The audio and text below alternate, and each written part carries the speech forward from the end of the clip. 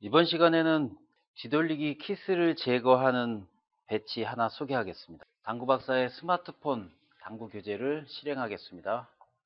업데이트를 확인 중이고요. 뒤돌리기 선택합니다. 아, 뒤돌리기를 패턴별로 분류했는데 첫 번째 패턴 빨간색으로 표시된 번호가 대표적인 유형의 배치고요. 그 중에서도 번호가 빠른 것부터 연습하시면 됩니다.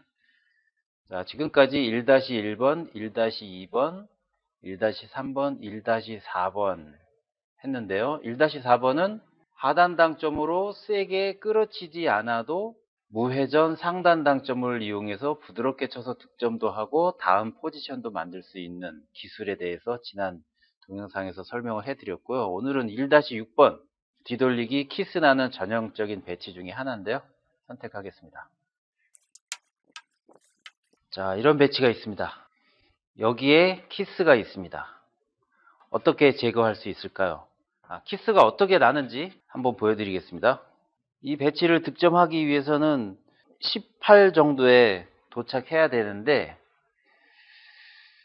그러기 위해서는 살짝 끌어쳐야 될 것입니다. 자, 끌어치는데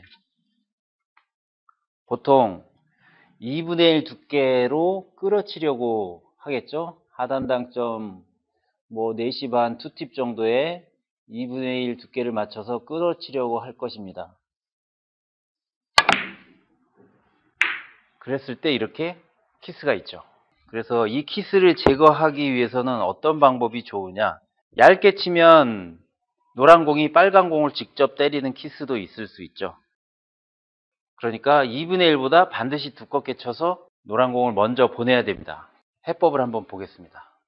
메뉴 물음표 터치하시고 힌트 버튼 터치하겠습니다. 그럼 해법이 나와 있습니다. 어, 당구박사 스마트폰 당구 교재를 구입하시면 자기 스마트폰에 설치해 놓고 해설을 보면서 연습할 수 있습니다. 자, 2분의 1 두께로 치면 키스가 있어요. 여기에 있습니다. 그래서 2분의 1보다 두꺼운 두께로 치되 밀려서 이렇게 밀려버리면 이 사이로 빠지겠죠.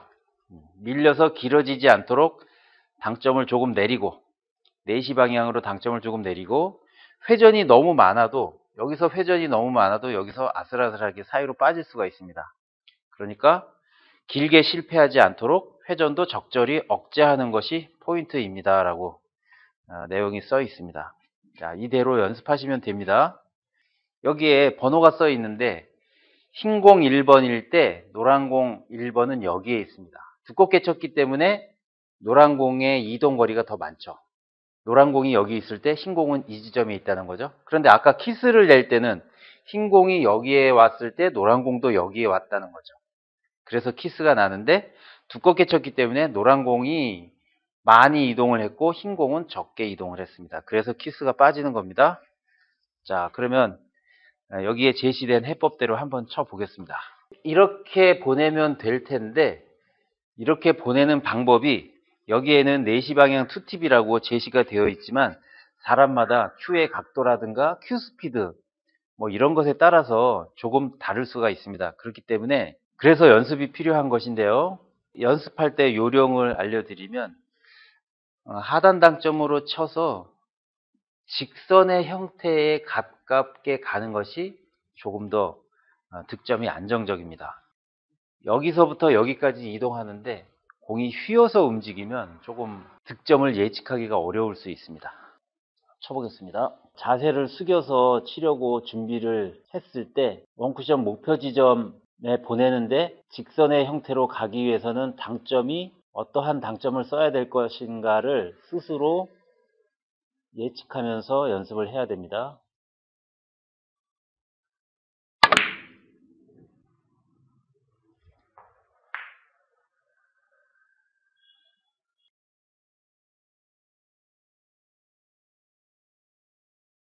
자, 이렇게 키스를 제거하는 연습을 해 봤습니다. 이 배치는 제가 아무렇게나 만들어 놓은 것이 아니고요. 쿠드롱 선수의 해법입니다. 첫 번째 챔피언이 될 때 실전 배치에 나왔던 내용이거든요. 자, 그리고 1-6번 배치가 이거였는데 빨간 공이 코너에 있습니다. 이런 경우를 자주 만날 텐데요. 이랬을 때 어, 이런 실수 많이 하죠. 보십시오.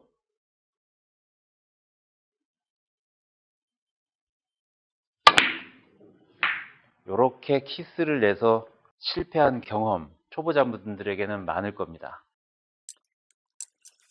뒤돌리기 1-6번에서 빨간 공의 위치만 바꾼 형태입니다. 그래서 1-6번을 연습을 제대로 잘 해놓은 사람이라면 이런 배치를 만났을 때 여기서 키스가 있다는 것을 알고 키스를 제거하는 방식으로 안전하게 득점을 할 수가 있습니다. 그런데 1-6번은 4시 방향 two tip 두께는 8분의 5였는데 그랬을 때 빨간 공이 여기에 있잖아요. 그래서 이 방향으로 가면 조금 짧게 빠질 수도 있습니다. 그렇기 때문에 조금 길게 보내야 되니까 4시 방향 투팁이 아니라 2.5팁 정도로 회전을 더해서 쳐야 되겠죠. 또는 3시 방향 투팁으로 당점을 조금 올려서 치던가 그래야 될 것 같습니다. 그런데 당점을 올리는 방법은 내공의 속도가 빨라지기 때문에 키스와 조금 가까워지지 않을까 싶은데요. 그래서 저는 당점은 올리지 않고 4시 방향 중하단 당점을 그대로 쓰되 회전만 3팁으로 더해서 치는 방식을 택하겠습니다. 자, 4시 방향 3팁 두께 8분의 5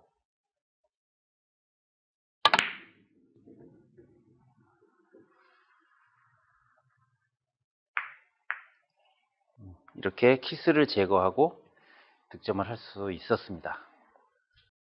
한 가지 더 기- 뒤돌리기에서 키스를 빼는 방법에 대해서 추가 설명을 해 드리겠는데요. 이것이 뒤돌리기 1-1번 배치입니다. 2분의 1 두께를 쳤을 때 여기에서 키스가 있다고 제가 알려드렸습니다. 그래서 이 키스를 빼기 위해서 반드시 2분의 1보다 두꺼운 8분의 5 두께를 치는 것인데요. 굳이 당점은 어, 여기에 1시 반 two tip이라고 써 있지만 2시여도 또는 3시여도 두께만 2분의 1보다 두껍게 맞추면 키스가 빠집니다. 이 배치의 경우에는. 그렇기 때문에 이 배치에서 키스를 제거하는 핵심적인 요소는 두께입니다. 그런데 뒤돌리기 1-6번 배치에서 키스를 빼는 방법은 두께만 8분의 5로 친다고 하면 키스는 뺄 수 있을지 모르지만 당점까지 맞춰주지 않으면 득점과는 너무나도 거리가 멀어집니다. 그래서 이번 배치가 조금 더 난이도가 있다고 할 수 있습니다. 그래서 뒤에 수록을 했는데 이번 배치는 두께와 함께 당점까지도 조절해줘야 된다. 그래야 키스를 빼면서 득점까지도 가능하다라는 것입니다.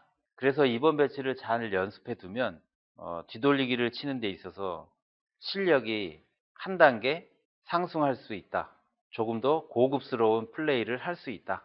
라고 말할 수 있겠습니다. 다음 영상에서 또 한 가지 더 뒤돌리기 키스 빼는 테크닉 소개하도록 하겠습니다.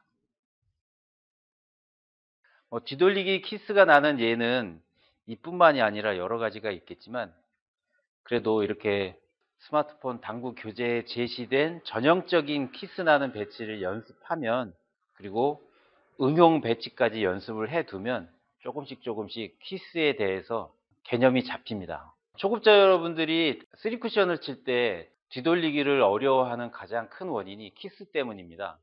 그런데 키스를 제거하기 위해서는 먼저 키스가 있다는 것을 알아야 됩니다. 그런 능력이 길러져야 되는데 그런 능력이 길러지기 위해서는 키스가 나는 배치를 반복적으로 연습을 해야만 그게 자기 눈 또는 뇌에 각인이 되면서 키스가 있다라는 것을 알게 되고 그 키스를 제거하는 방법까지도 알게 되는 거죠.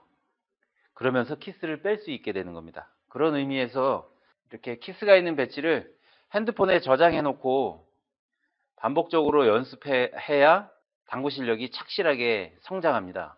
난타 연습하시면 시간에 비해서 성장 속도가 매우 느립니다. 이렇게 아, 모범적인 정해진 배치를 가지고 주기적으로 반복해야 각인이 되면서 암기하려고 하지 않아도 암기가 되면서 실전에서 실력을 발휘하게 됩니다.